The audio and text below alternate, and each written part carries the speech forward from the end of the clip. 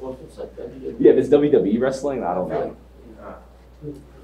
Yeah, if it was like legit fighting or like some sort of boxing or MMA, like, yeah, you get destroyed. Okay, so um, so last time we ended by talking about where firms maximize profits in the um, in the perfect competition. So firms maximize the profit at the point where the marginal revenue equals the marginal cost. So looking at these, looking at our graph here, point where the marginal revenue, which is also the demand curve and the price, where that crosses the marginal cost curve. And now the profit they're gonna make for each unit of good is going to be the difference between the price here and the average total cost at the profit maximizing point. So the difference between these two curves is going to be the profit per unit. And to get their total profit, you're just gonna multiply that per unit profit by the quantity, by the number of units that they produced. Yeah,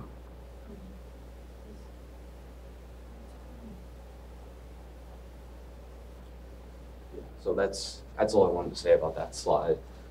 Um, So, yeah, this points out that it's a common error for students to think that the, um, the profit maximizing quantity is where the marginal cost curve and the average total cost curve intersect. Um, So that would be here on the graph, but um, they would still be able to make, make um, a higher profit by producing until they reach where marginal revenue equals marginal cost. So this would be below their profit maximizing quantity that's produced.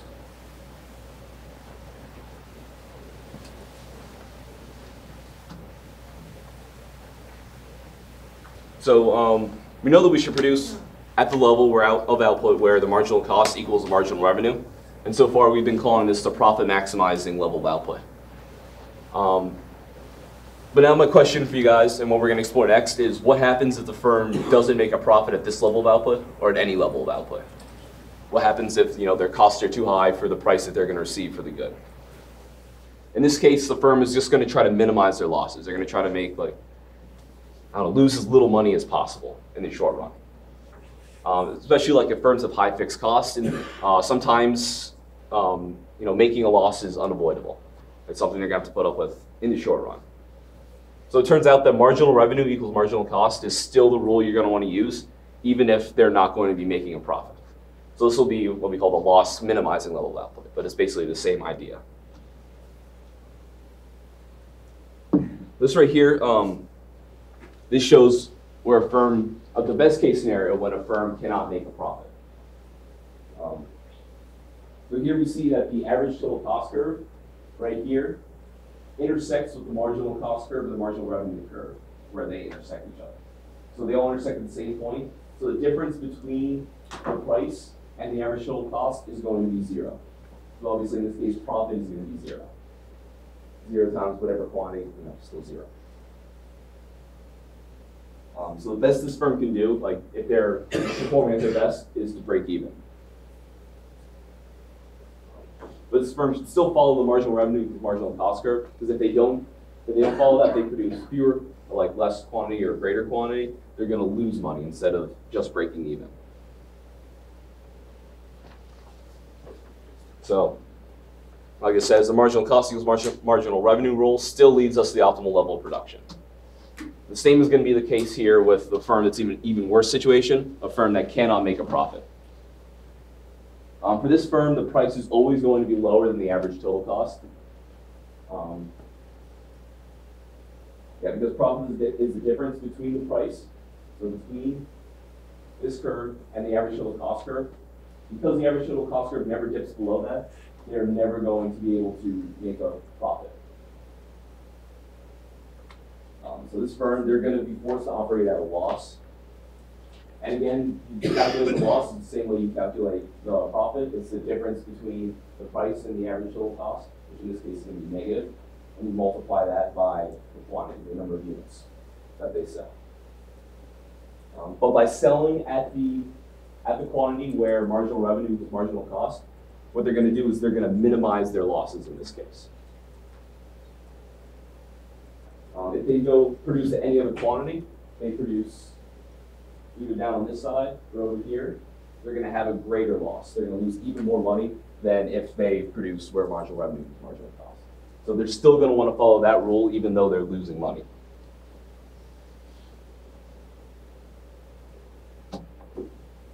So whether or not a firm can make a profit is determined by what their average total cost is in a perfectly competitive market. Um, so if their profit or their price, excuse me, is greater than the average total cost, then they're going to be making a profit. If the price is equal to average total cost, then the firm is going to break even. And then if price is less than the average total cost, the firm is going to earn a loss. Um, so no matter what industry, what product, what level of output we're talking about, whether they're producing like four goods or like 40 million goods, these rules are going to hold. Um, this relationship always holds for perfect competition. So um, you guys have any idea why a firm would want to continue to operate in the short run if they're operating at a loss? If they're not able to earn any profits? Why they wouldn't just like shut down?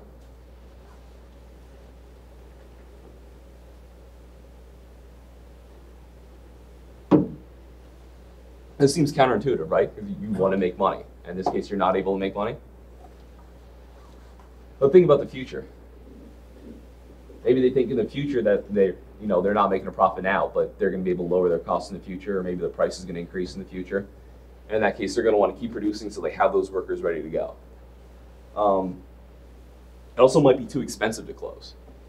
They're already paying for the factory, they're paying for all these things ahead of time, all their fixed costs. If they're already paying that money, they might as well keep producing.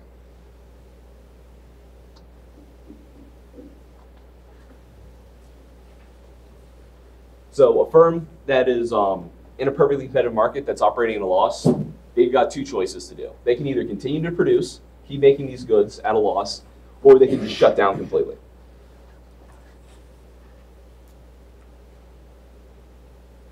Um, each firm in, the in perfect competition must accept the price, so they can't, you know, they can't increase the price to try to make more money. They can't do that to stop their losses.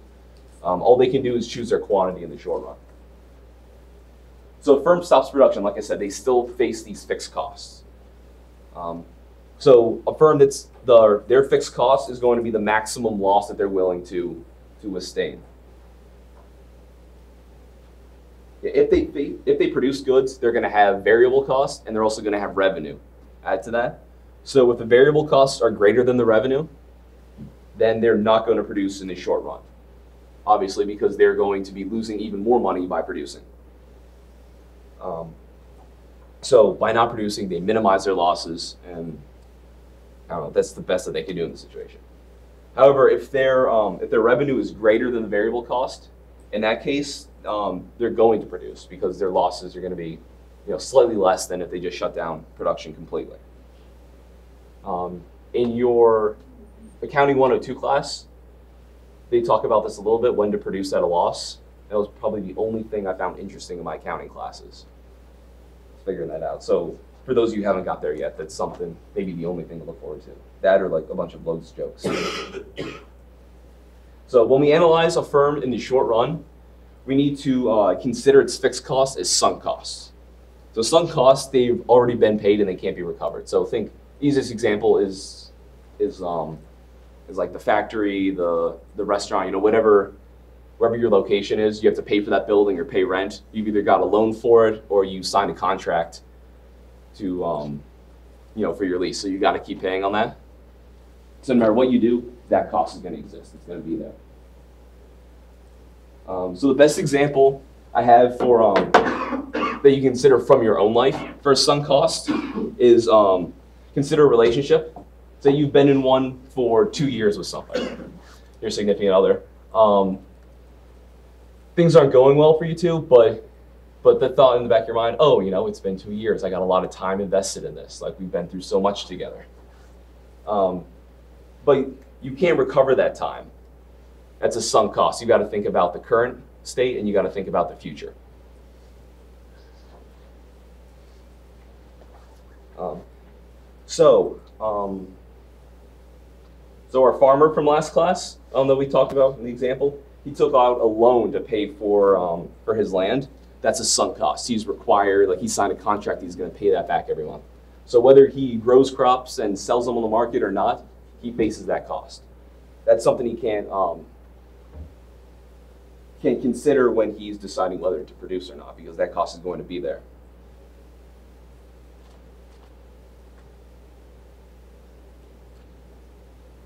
So the firm's shutdown decision making is based um, only on its variable costs in the short run. Um, so they should only produce if their total revenue is. I think they made a mistake. Should be total revenue is greater than variable costs.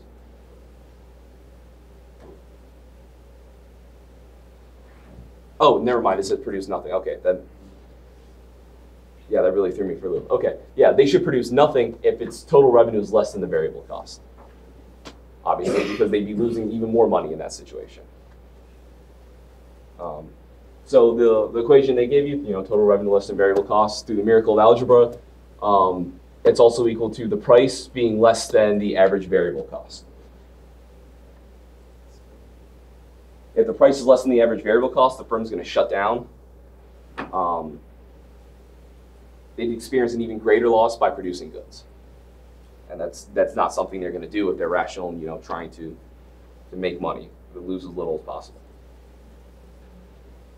Um, so if the price is greater than or equal to the average variable cost, then the, um, they're, they're going to keep following the marginal cost equals mar marginal revenue rule to figure out how many units to produce. And they'll produce at the quantity where marginal revenue, revenue excuse me, equals the marginal cost. And for a perfectly competitive firm, this means marginal cost equals price. It's that horizontal line.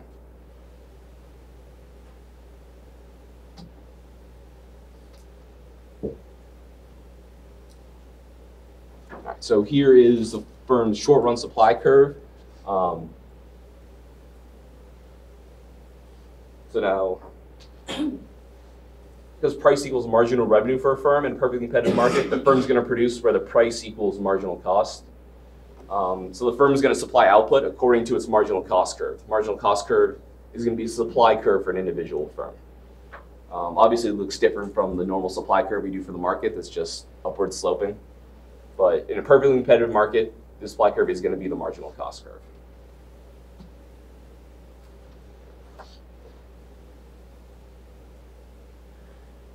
Now, um, where the price is too low, where that's below the average total cost, the firm is going to produce nothing at all. So if the price is anywhere below this P min right here on the graph, they're not going to produce anything. That's why it's right here on the zero. Um, this right here, where marginal cost equals the average variable cost, that's the shutdown point. Um, at that point, it's no longer worth it for the firm to keep producing when the price is that low. So at that point, they'll produce a quantity where it intersects with the average variable cost curve, and then from there, the supply curve goes up the marginal cost curve.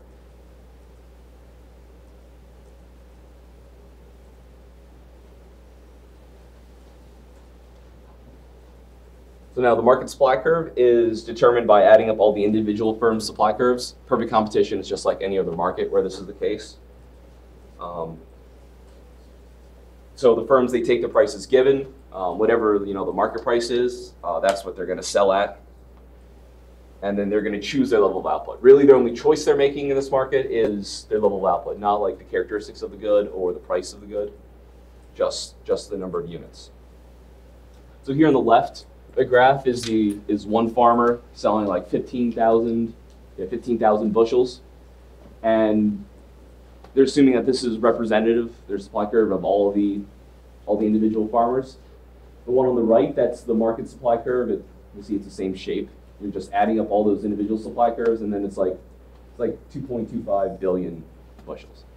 So you're ending up with the same, you know, same shape of the supply curve when you add up all the individuals into the market.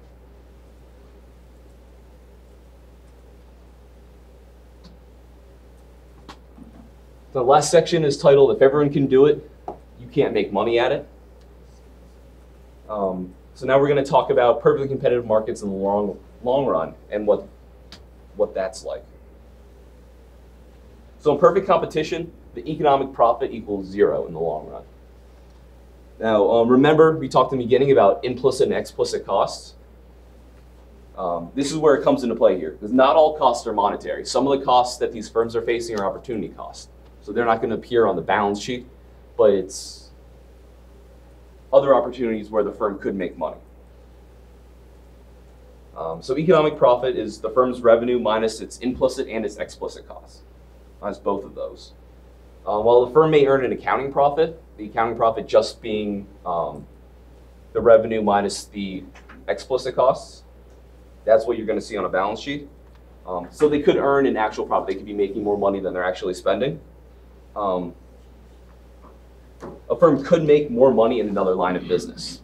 Maybe instead of instead of that farmer selling wheat, selling I don't know, they could do corn maybe and make even more money. So even if they're making a profit selling wheat by switching to corn, they make more money. That's that's an expl- an implicit cost that they're facing. That's an opportunity cost. Uh, and this is factored into economic profit. So um, let's use an example. Let's say Ray Gillette, he starts a small um, cage-free cage-free egg farm. I don't know really what Nicolas Cage has to do with eggs, but apparently, apparently he's starting a farm with not involving him at all. So he manages this himself, giving up the $30,000 salary he'd be earning at ISIS, uh, working as a secret agent. Then he invests $100,000 of his own money into the farm, which um, so he has to forego $10,000 per year in investment income that he would have received, you know, by putting that money in uh, some sort of mutual fund. Hopefully, not putting it into Bitcoin. Um, so both the salary that he's giving up and then the investment income are implicit costs of running the egg farm. These are costs that Ray would not have incurred if the farm didn't exist. Um, and money he would have been work making had he continued, you know, working at ISIS. Um, but this profit, this isn't going to last in the long run. Remember, entrepreneurs are attentive to profit opportunities. If they see that there's money to be made in cage-free egg farming, they're going to enter that industry and use that as a chance to make money. Uh, new people are going to open up farms um, for cage-free eggs, and other existing farms are going to switch from the caged eggs to the cage-free eggs. Um, so maybe uh, Pam Poovey, she switches from being a dairy farmer to, uh, to raising eggs, or to raising hens for their eggs. Um, firms can go from one line of business to a similar business if you know if there's more, more economic profit to be earned there.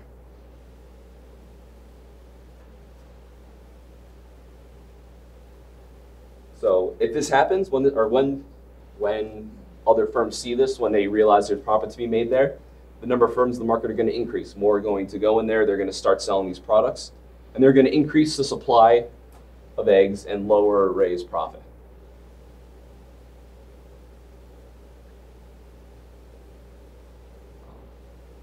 Oh, that was that slide.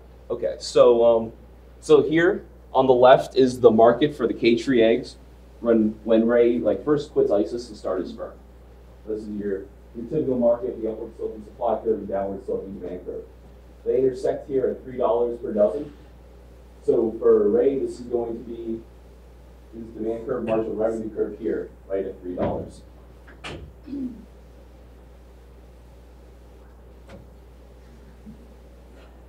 Oh, Almost extra credit. All right.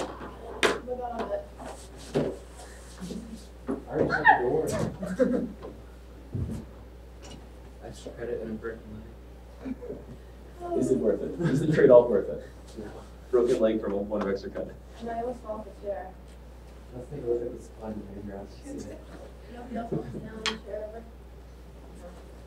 It's fine. So where uh, marginal revenue equals marginal cost, right here at three dollars, um, that's the price greater than the average total cost.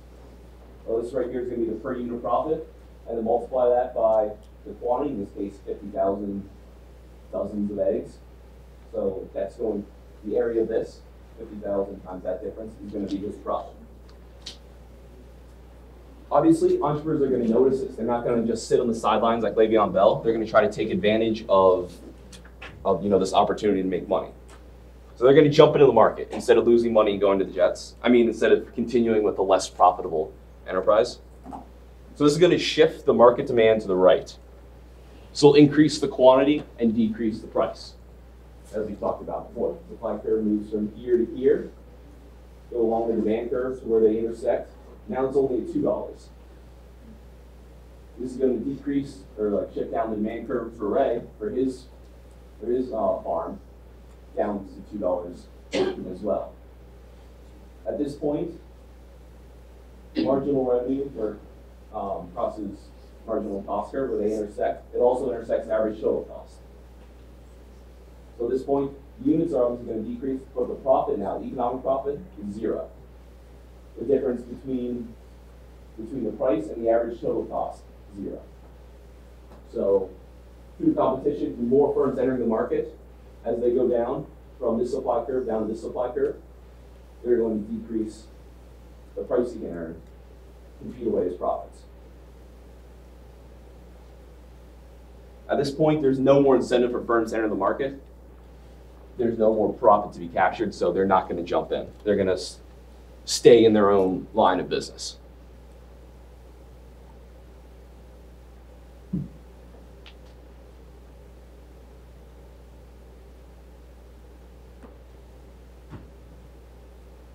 Yeah, before before I move on, um, like I said, at this point, the marginal revenue is going to equal the marginal cost, is going to equal the average total cost. Um, this is the long run equilibrium because no more firms are going to be entering the market. Um, at this point, in perfect in the perfectly competitive market, competition is done. There, uh, that's it's kind of a static situation. No more people are getting involved. No more people are leaving because they lose money doing the opposite. So unless something happens in the overall market to shift the demand curve, maybe a change in consumer tastes and preferences, you're not going to see see new firms jumping in, people leaving, anything really changing. This is the end of the game. Um, so uh, let's suppose that uh, consumers' tastes and preferences do change, that they no longer want to eat um, as many cage-free eggs. Maybe the FDA changes their mind again, and now they say that eggs are unhealthy. Who's uh, power rank the Golden Girls? I think who's your favorite Golden Girl? Let's go with that. Who's my favorite Golden Girl? Yeah. I don't even know. Can you give me, a um, Well, There's four of them. aren't they old? Yeah. The show was on like the 80s. If Betty White's still alive. Betty White. Betty White. She's great. White hair. She wasn't that. She was such a ditzy character. What are the, what are the four? I said on the syllabus, I kid you not paying attention. I can ask you anything or roast you. Okay, ask I totally forgot about that, so now I'm gonna I'm gonna ask random questions. What are the four? So do I still get my extra credit point? What? Do I still get my extra credit point? Yeah, you did stand up and kind of walk. I did a stand up. Falling falling down is like a way to welcome someone, right? Yeah. In some cultures. I mean, at least I acknowledge that he's leaving. Okay. So in this case, consumers' tastes and preferences are changing. Demand curve is decreasing. So now this is going to lower the price. There's going to be fewer eggs supplied, and the market as a whole. Um, so in this case, the price has fallen to about seventy-five. Right here, we were at equilibrium. We're in a perfect situation. No firms are entering leaving. Nothing's going on. We've reached the end of it. Now it's down here. So the price, the marginal cost curve right here is way below the average total cost curve. So Ray is not going to be breaking even. He's not going to be making a profit. At this point, he's making a loss. And 25 cents times 25,000 dozen eggs. So it's, that's a decent amount of money that he's losing. So what's Ray going to do? He's still going to produce for marginal revenue equals marginal cost because that's where he's going to minimize the losses.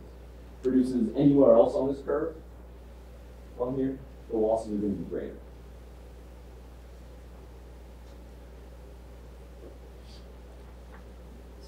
So Ray's suffering an economic loss, but so are his competitors. They're also facing the same sort of loss because the price is too low for them to compete. Um, so some of the farmers, they're going to leave the cage-free egg market for a different product where they can earn a profit. Maybe Pam Poovey is going to go back to um, to a dairy farm. So this is going to reduce the supply in the uh, in the market overall. Yeah, we have a slide here for it. Reduce the supply in the market overall, and the supply is going to keep decreasing. People are going to keep leaving this market until the supply curve moves back up to where um, Crush's Maker here at two dollars. Once they get back to two dollars, we're now in equilibrium again. Marginal cost equals marginal revenue equals average total cost. So there's zero economic profit.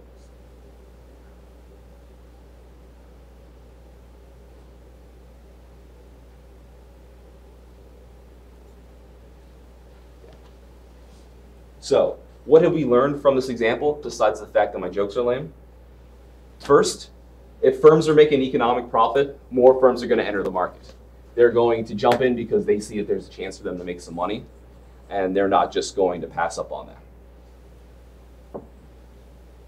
Next, um, if firms are making an economic loss, some of the existing firms are going to enter or going to exit the market. They're going to go somewhere else where they can make more money.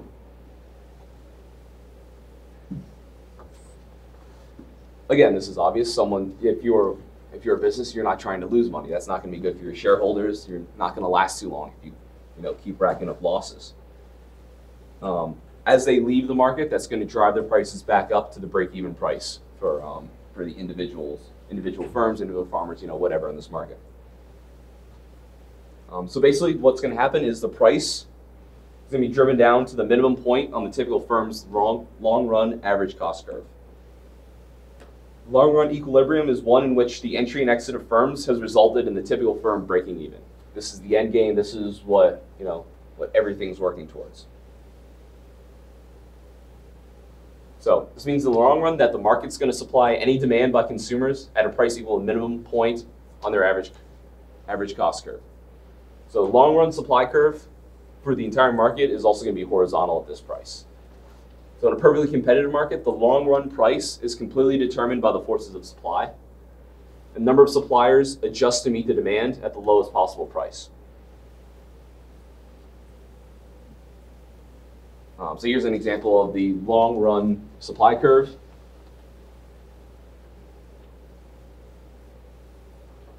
When demand increases here, it's going to increase the price.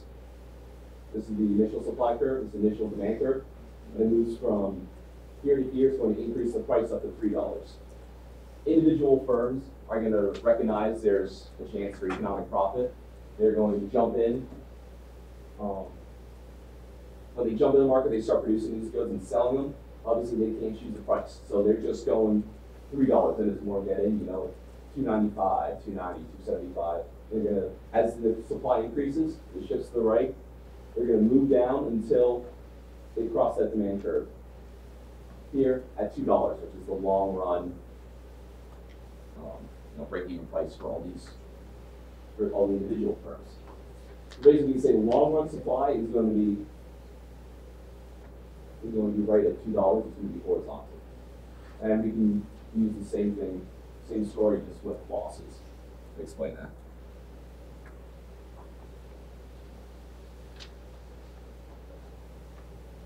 So the problem with perfect competition is that it's a, an abstraction from reality. Um, so these models, they're uh, meant to deepen our understanding of what the real world is like, but um, it can't be useful if they don't simplify the real world. If you contain all the complexities that we have in the real world, then then it's not a model at that point. You're just looking at the real world. And it's difficult to try to understand everything that's going on. So we break it down, make as many assumptions as possible to try to um, have something that we can actually work with and to understand. Uh, however, this means that perfect competition isn't really a good, good model to describe what's going on in the real world. Um, and you think about it, firms try to different, differentiate their products all the time. Um, there's very few industries where firms try to sell, or where they all sell the same exact product, where there's no difference from one firm to the other. Um, firms try to compete on quality. You know, they some firms try to make a really good product that'll never break. Um, some firms try to have like a real piece of junk product that's super cheap but hey, it's really cheap, so people are gonna be willing to buy it. Um, they can tie their good even if it's exactly the same to other goods. So think gasoline's all the same. But how does Sheetz compete? They have all the made-to-order food. They have all that stuff. They draw you in for, all, I don't know, all the extra stuff, all the the food or what have you. They have clean bathrooms, cleaner than like most other gas stations. You know that they're time when you stop there, like on a road trip, you're also getting your gas there.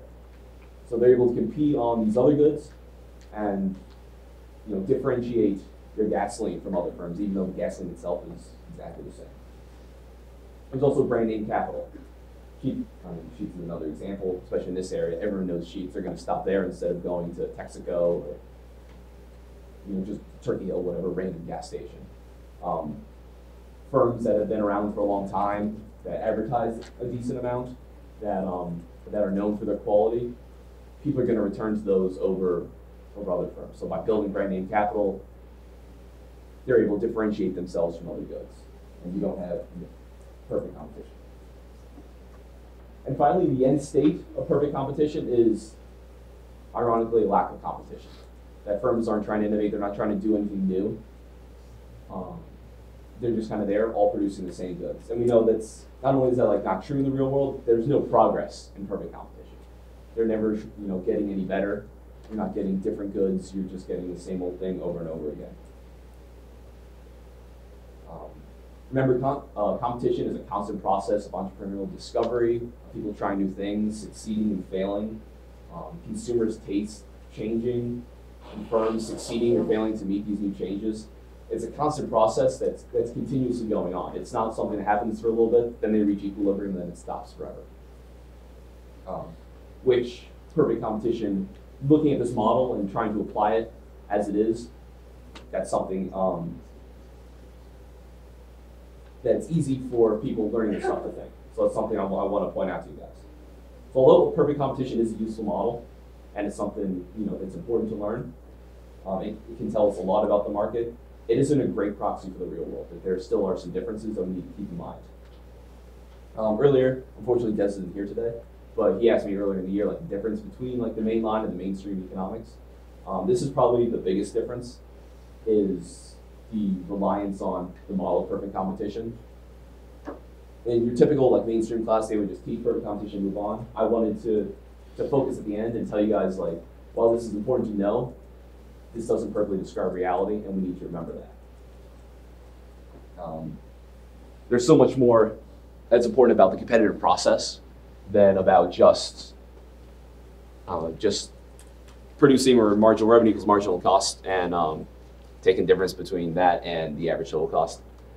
Um, there's more going on, and that's something we need to keep in mind. And at least in my opinion, that's like the good stuff to study in economics is like the competition, understanding that the entrepreneurial process not just not just moving cost curves around. So now an example of a perfect competition and the economic profit being competed away. I know I just got done telling you this doesn't happen in the real world. Here's an actual example from the real world. Uh, when so when firms earn economic profits, obviously other firms have the incentives to enter, enter that market. They have a chance to make profits. They're going to jump into it. So when the iPhone first came out, um, this says mid 2008. Um, it was instantly profitable, and that was you know like the first time apps became really popular. And so apparently 25,000 apps were available in the iTunes store within the first year.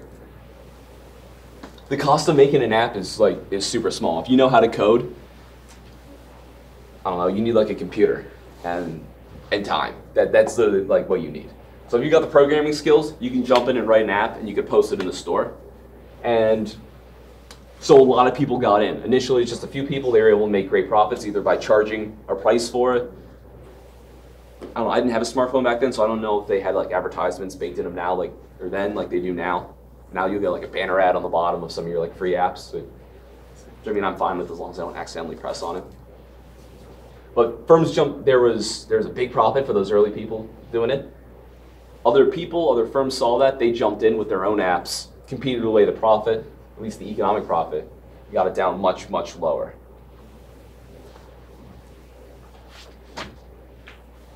Um, it's difficult to to describe apps as perfect competition because there is, I mean, as you guys know, there's differentiation between the apps. Um, who uses the Yellow Page app that comes on their phone? Yellow Page is like the um, was the old phone books. It, it's an app on my phone and it updates like every like three days, even though I've never opened it, and it won't let me delete it off there. Wait, what did you The yellow Yellow Page. it? What the hell? I have an Android, maybe that's I why. don't know, I'm. Okay, well, lucky you guys. But I'm sure you guys use your Instagram app like six times a day. Use your Twitter app and your Facebook. There's other ones you use all the time. So there is, and they have different uses. So there's differentiation between these apps. But Perfect Competition is a great model for people that jumped in early, had an economic profit, and then more firms getting in and like competing that away. All right, so um, let's take a break there because we're done with that chapter. Do you guys have any questions on perfect competition?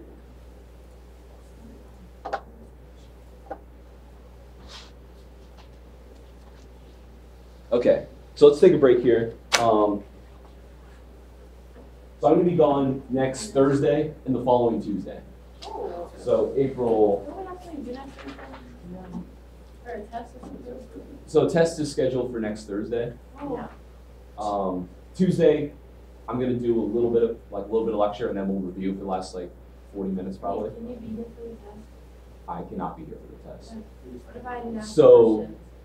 So it's either next Thursday or the following Tuesday. I don't really care. One of those days you guys have to take the exam. One of those days you want a class. I'll leave it up to you if you guys want to have it Tuesday or Thursday. Wait, Like so it's we Thursday show or up? following Tuesday. So it's Thursday. Wait, so, Uh, I'm gonna have one of my GAs sitting here for the exam. I'll, I'll go Thursday. All right, wait. Okay, so who's saying Thursday? Oh, wait, me. Me. So that's the the first opportunity. What Yeah. chapter is on? Where you gonna be? 11, 12, and Oh, 15. Tuesday, no. Fifteen? Yeah, darn it. Track, track won't be here Thursday, so I think Tuesday. Okay, so I'll go Tuesday. Yeah. So the month of April. So this is next week right here. Tuesday, I'm going to be here. We're going to have class. Thursday, I won't be here. The 4th. And then the, uh, where is that? The 9th. I won't be here for that day either. I won't make that day. So you're looking at the ninth? Let's do hands. Who wants the 4th? that Thursday? Yeah, that's Thursday. That's the first one. One, two, three, four, Thursday, five, me, six. me, me. Sorry, one. Wait, let's do that. Do that again. I lost count.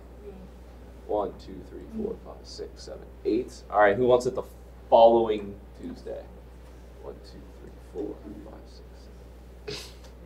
yeah. You vote. It's tough. I'm. I really don't. I, I don't care. That's the thing. It makes no difference to me. And you're not going to get the exams back any sooner.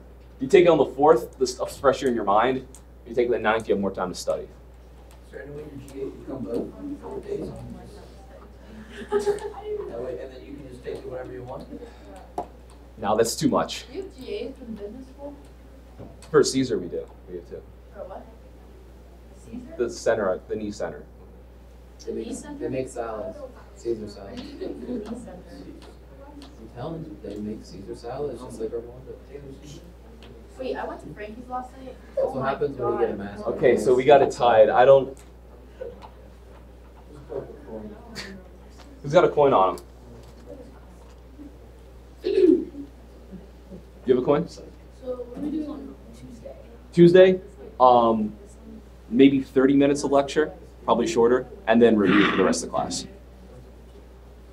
I don't know if I'll be here Tuesday. I'm not gonna be here on Thursday, but I don't know if I'll be here Tuesday. Okay. Who's wait? Who's not going to be here Thursday? Is someone else not going to be here? I, I somehow, we got no, I have a coin. You have a coin? All right, all right, we'll flip it.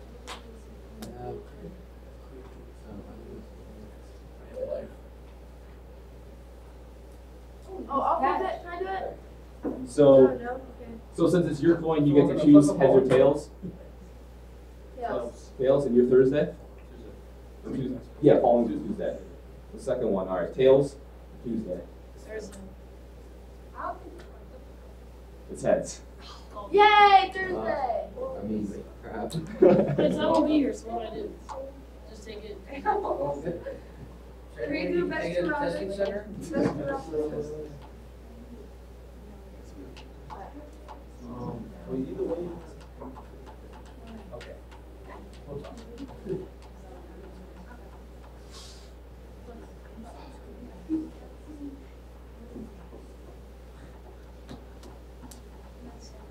Okay, so if you're not going to be here, I guess email me. We'll set up a time for you to take the exam at any point afterwards. What'd you say? If, you, if you're not going to be here Thursday, email me and we'll set up a time for you to take the exam, With the, like, after, either at the testing center or just have my GAs proctored somewhere in the building.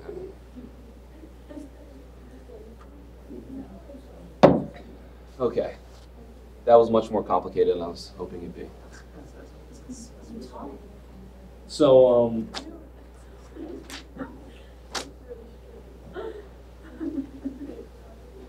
all right. So this weekend I'm going to an '80s thing, like an '80s '80s event down in Altoona.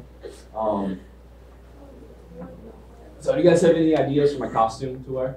Marty Some McFly. good '80s stuff. Marty McFly. Marty McFly. Like, uh, like vest thing. You gotta wear that. Maverick Top Gun. Just Ooh, dresses that's up. was saying. I was thinking general like '80s stuff, not going as actual characters. uh, There's, that's a word song. characters are better. What's up, 69ers? It's the. I'm trying to find some like MC Hammer kind of parachute pants. Where are those on Goodwill. Amazon? Go to Goodwill. Well, in Altoona was a bus, so I'm gonna hit that. You definitely need like a an afro or something. Not like a, Is that what the '80s was like? No. like a curly one, you know? Like the long curly blonde hair, like one of those rockers. From like how, how Will Ferrell like his. Or mullet. Yeah. Or that. Yeah. Here goes Jackie Moon. That It was was the '70s. I don't care. Boombox playing Love Be Sexy. Take a little spit. Just wear like a sweatsuit. and. Oh, yeah, like an Adidas, like an Adidas. uh, Like neon colored sweatsuit. Dress, dress as the character from, uh, what's that? This looked dope. OCC. That'd be sick.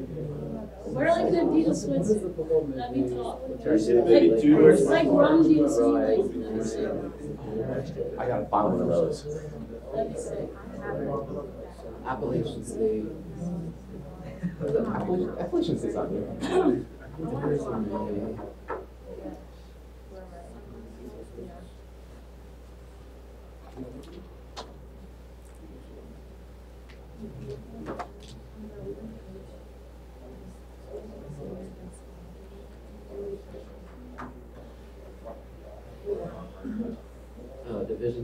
Division three football stars. What, what, what is he wearing that? I haven't that, seen that you in a know the while. dude that like the coach that like tossed on the whiteboard. He's like, yo, every time dresses.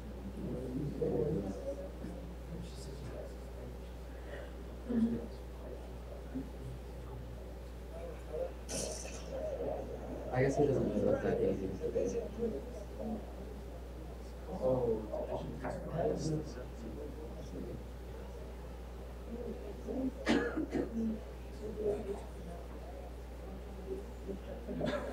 Yeah, put those booty shorts on with the cutoff. The cutoff polo shirt. Andy Dick at his finest.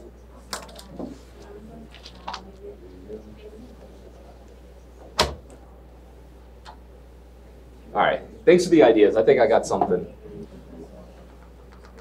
Something percolating in there for that. So now we're going to move on. We're going to talk about monopoly and antitrust policy. Um, today will probably just be monopoly. We'll get antitrust next Tuesday. So now, um, although monopolies rarely exist in the real world, the model monopolies are useful to understand how an economy works, and you know, it's basically just the opposite side of perfect competition. Um, so monopoly is a firm that um, that is the only seller of a good or service. So you've got nowhere else to turn, um, and that good or service doesn't have a, a close substitute. So you can't. I don't know. There's say there, there's no true substitute for an iPhone. There's nothing exactly like an iPhone. Well, you can go get like an Android phone, a Google phone. It's, it's close enough. That's not a monopoly. Monopoly is where there's it's like there's only the iPhone. You can't go anywhere else. So you've got to buy from Apple. um, yeah. So Tesla, they're not a monopoly because there's there's other electric cars out there. You can get like a Nissan Leaf or a couple other ones. Even though Tesla is like substantially different from those, they're close enough that it's not a true monopoly. Would you consider like internet service? Because like we have, it's like my town media company, and all of our wiring's underground for our development, so they have a monopoly on like internet service. But then you could get it through Verizon, but it's through like telephone lines. So the difference is like two megabits per second versus like 150. Would you consider that like a big enough difference to say that it's not like close competition? Um, I don't know enough about the internet. How big of a difference is two megabytes versus Like- 100 megabytes? Three megabytes per second is like the internet in 2000. Oh shit. Okay. Yes. Yeah. Um, Like here. a lot of cases when monopolies exist, it's when it's like they had like they're the only one in an area. So like the only electrical provider in an area, only internet in the area.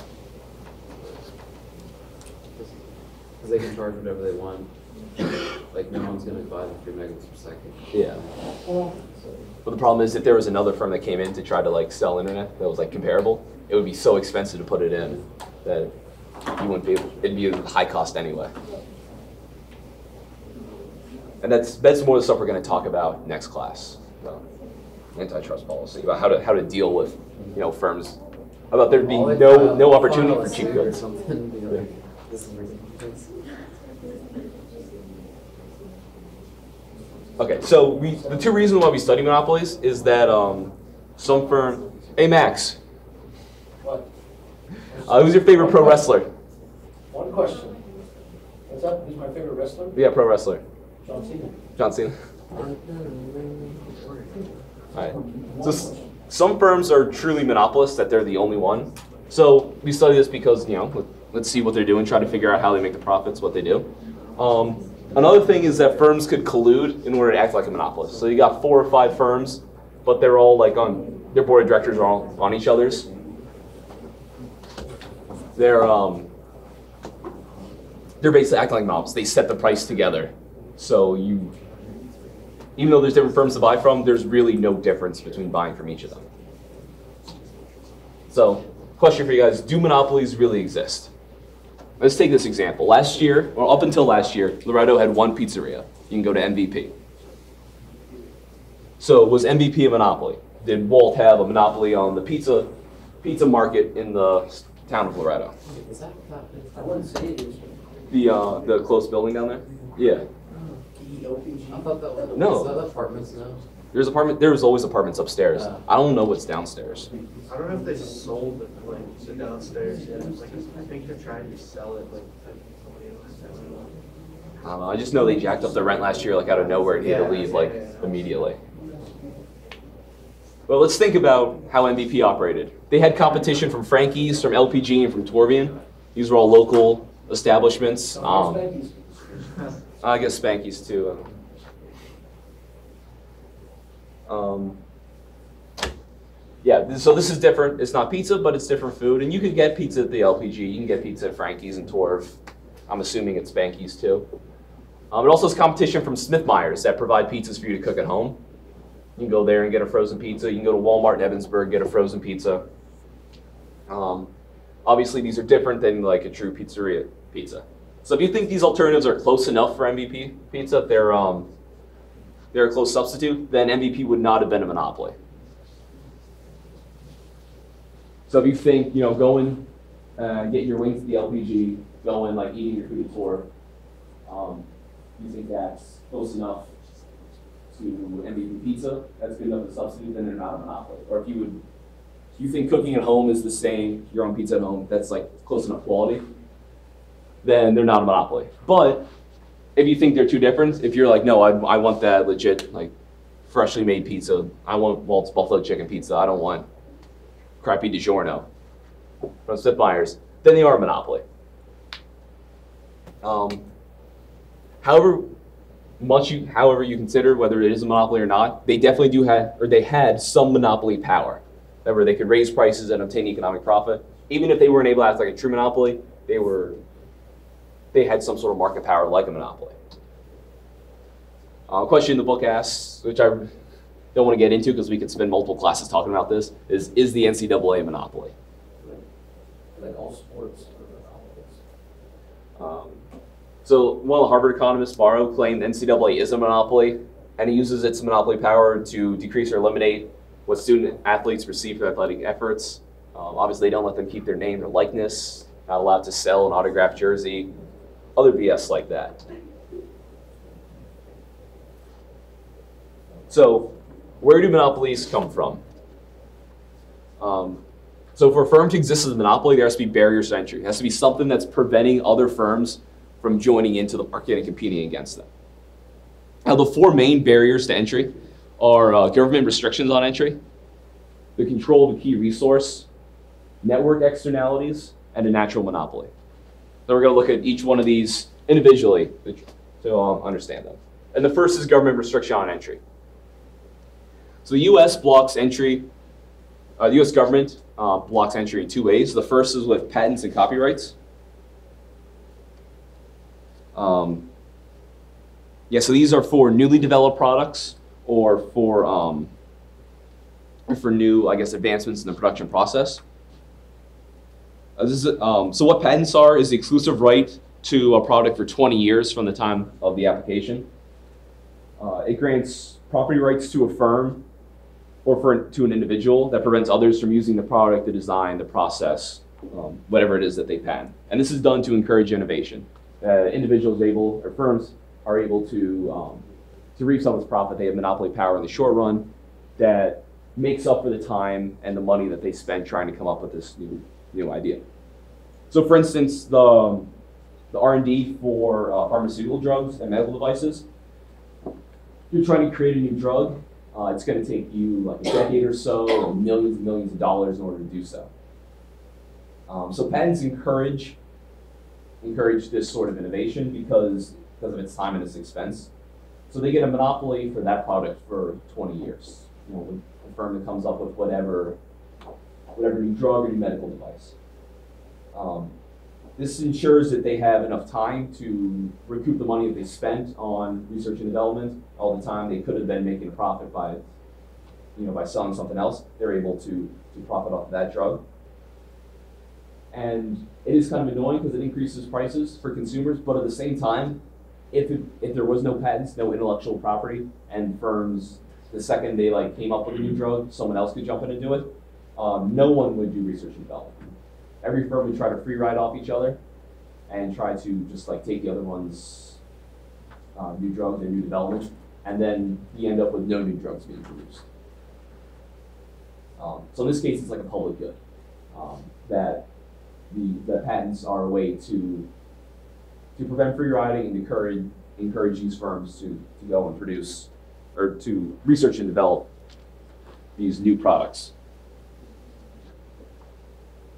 Now, um, uh, yeah, copyrights. Copyrights are the exclusive right to uh, produce and sell. These are like works of art, literature, um, things like that.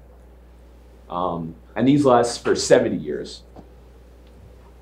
So, um, so if uh, you're looking for a book or for something that's over 70 years old, you can go online and get that book downloaded for free. You don't have to pay for it. Something to remember. Um, and it's all legal. Project Gutenberg is like a really good source to go to if you're, if you're especially like if a class is like you need to buy a book instead of dropping 20 bucks on Amazon, go there and get it for free. Same with music, right? Uh, yeah, same with music. Um, I- now, now I forget, but there was some like big album that was just about to, to lose its um, copyright. I remember people were talking about that a couple months ago. Now, but now I can't remember what it was for the life of me. Um. So there's debate among economists about intellectual property, whether it's more helpful or harmful. Uh, some say it's really good. It's, it's the system we have right now is great. Uh, some say we need more of it. That um, we need longer protection to help encourage more people to develop these new things. Uh, and some say we need shorter. That it's that this monopoly power is you know hurting consumers, hurting the market, preventing it from operating efficiently. And and there's some that say that we need more in some areas. That some some things, you know, like maybe drugs and medical devices, we need longer term patents for that. So to like encourage more innovation, so firms can profit from that, and we need less in other areas, so we're not harming consumers for advancements that don't really make them that much better off. I don't really have enough knowledge in this area to debate whether whether it's good or bad, how much more we need, and how much for what type of product. But I just wanted to point out the debate is out there about it. Uh, the second way the government restricts entry is the use of public franchises. Uh, so the government, what they do is they designate a firm to be the sole provider of a good or service in an area. Um, so an example is local government with an electricity supplier.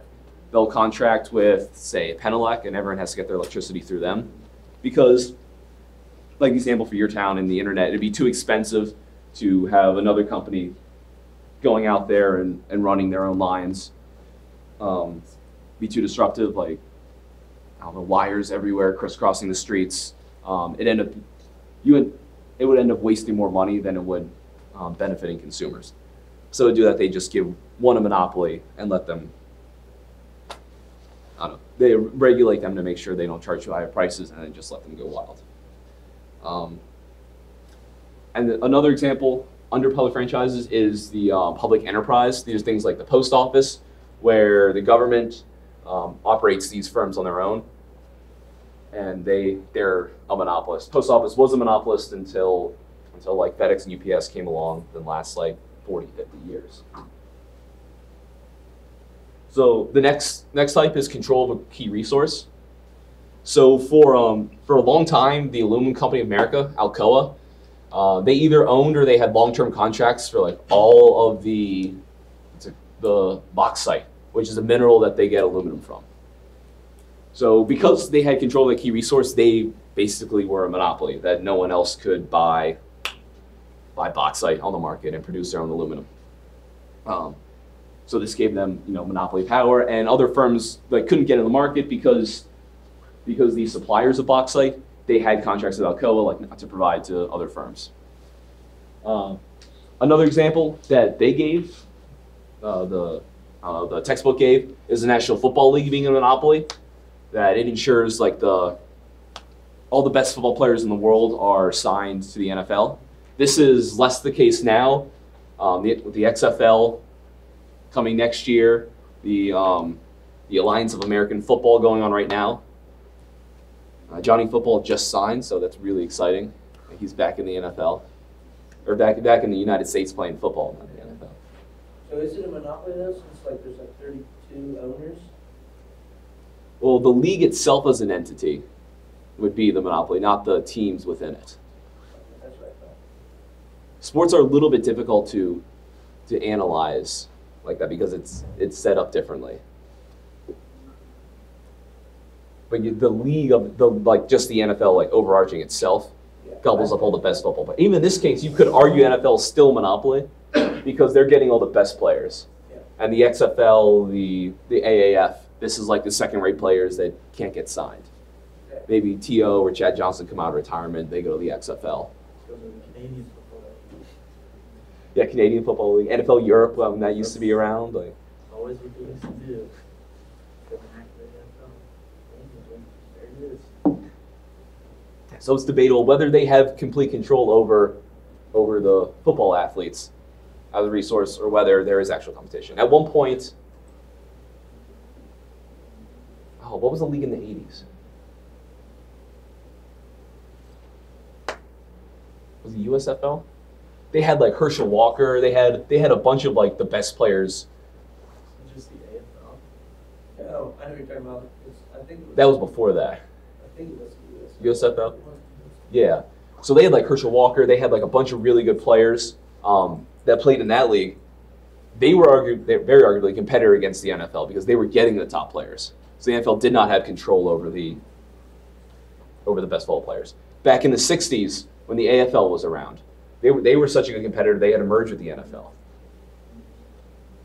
In that case, the NFL was definitely not a monopolist. So, a question they ask um, are diamond profits forever?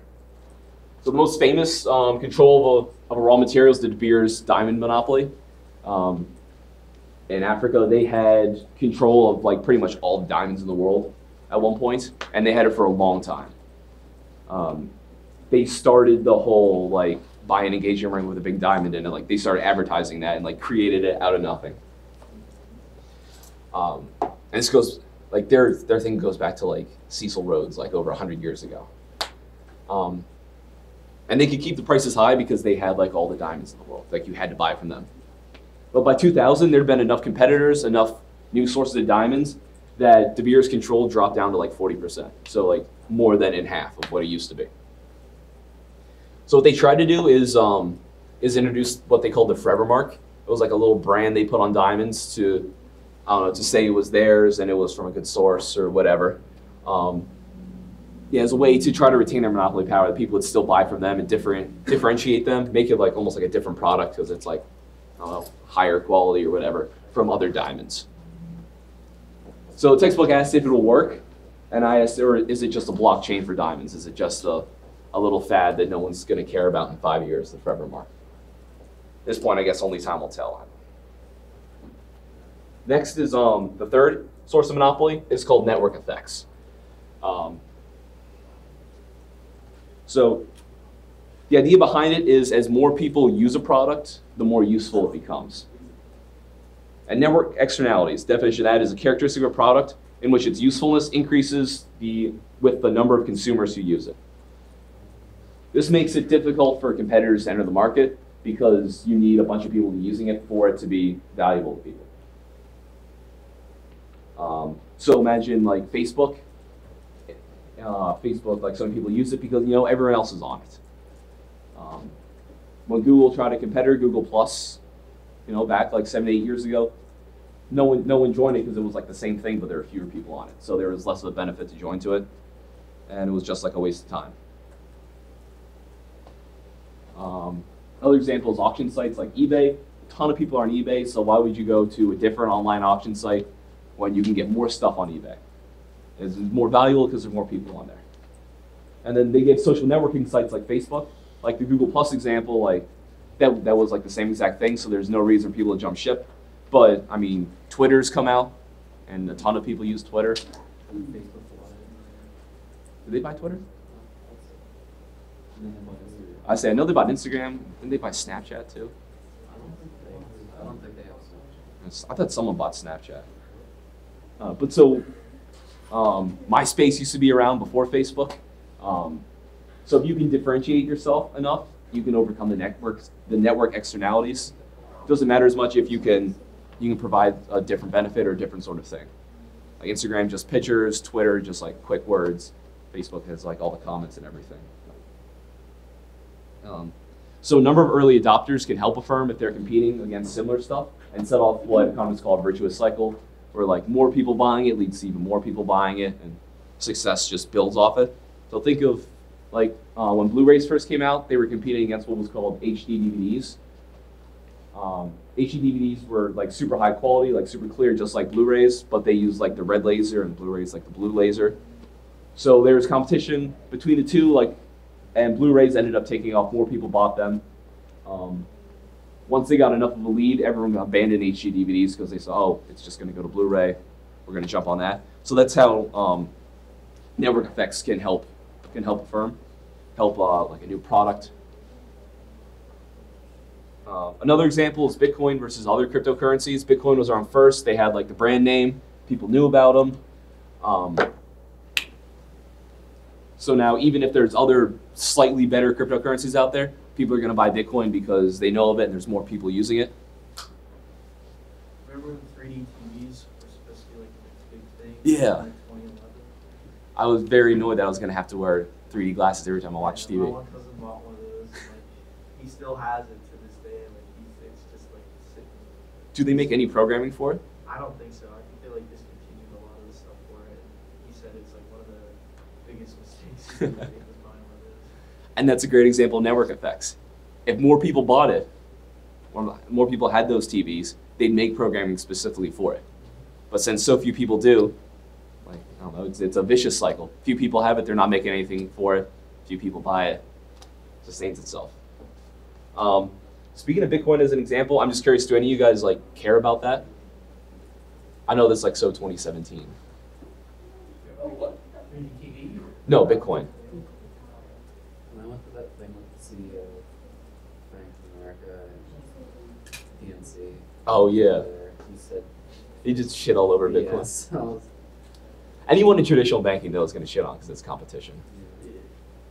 Um, really- Jamie Dimon did the same thing. He like shit all over, and then like two days later after that giant interview, J.P. Morgan came out with with their own cryptocurrency. I don't know. I was going to talk about it a little bit in class just because I have a funny story with it. I just feel like there's nothing really happening with it right now. Like, I didn't have Bitcoin, so it didn't really affect me and stuff. Yeah. It was pretty crazy how it impacted the market back in the day though. It was such a big news story. Everyone was buying it. I'm confused by it. In high school, they tried teaching it, and I just, I still don't understand what it is. That's impressive. One of my friends, like an undergrad, were joking around about it. Like, well, it first came out well before that. I think it was when it just like passed gold at like eight hundred dollars for one. We were talking about it. We were thinking about like jumping on. He actually like started mining it, made a lot of money off it. I did not. I didn't make any money, but enough to suffer from losing like seventy-five percent of its value from 2017 till now. Okay, so let's do the final source quick and then get out of here. Final source is a natural monopoly. That occurs when the economies of scale are so large in an industry that one firm can supply the entire market at a lower average cost than two or more firms. So that's also like your, um, your internet provider. If there's two firms in town, they're going to be competing against each other. It's going to drive up the cost of, I don't know, just even just laying the wire, going to each house. It's going to be too much. These exist when uh, fixed costs are high. So um, again, electricity is the example the textbook gives. You have to do substantial investment in not only creating the power plants, but the transformers, running wires all over the place. Um, that costs a ton of money to get into. So another firm jumping in there is not going to do that because they're not going to make enough money to overcome that. So, so like like the name says, natural monopoly, it naturally springs up from not being worth it for someone else to jump in. And um,